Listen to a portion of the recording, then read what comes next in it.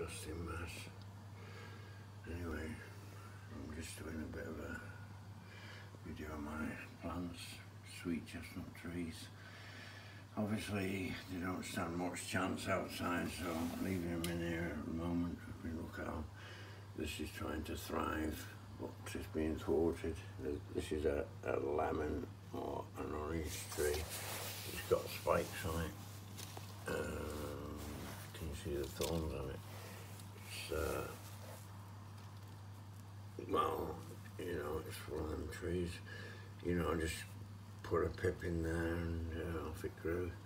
It's either orange or lemon, I don't know which, but this is sweet chestnut, this one.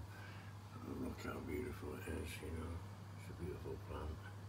Anyway, I've got a bit of a kind of madness for you.